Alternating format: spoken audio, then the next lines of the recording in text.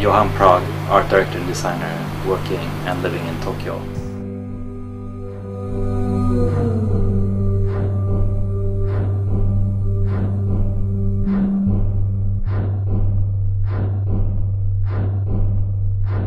One day I woke up on the sofa. I felt light was walking on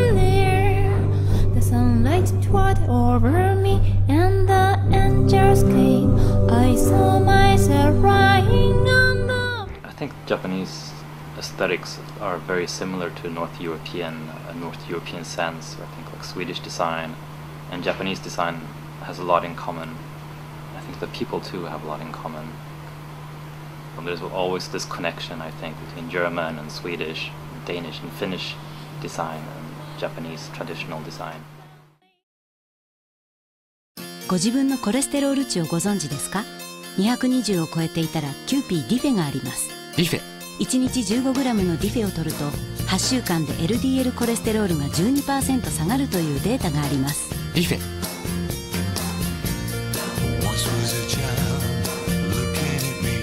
コレステロールを下げるキューピーディフェ。カロリー50%カット。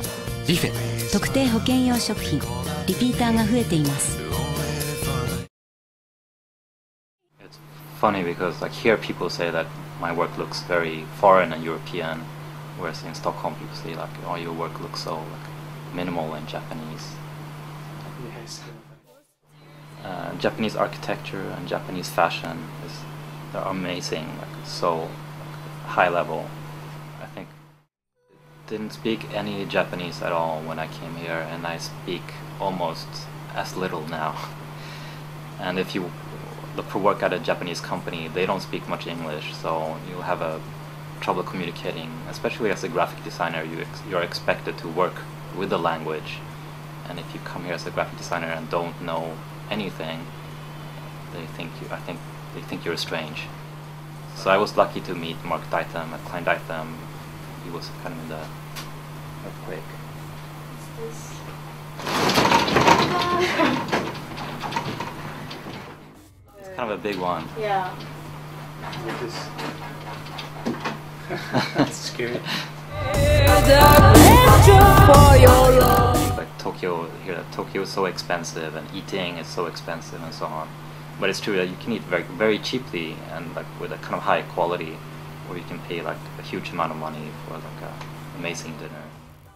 Many people coming here go to like Yoyogi Park, but I would recommend like Shinjuku Gyoen, like the big park in Shinjuku, which is a much nicer park.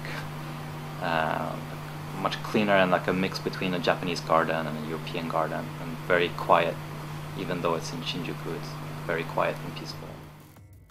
Other areas, like the kind of off areas, I would recommend maybe Shimokitazawa is really interesting. It's like a young area west of Shibuya, which has uh, kind of a punk energy, lots of secondhand stores and like secondhand record stores and this kind of thing. It's like a uh, kind of similar to Harajuku but more rough.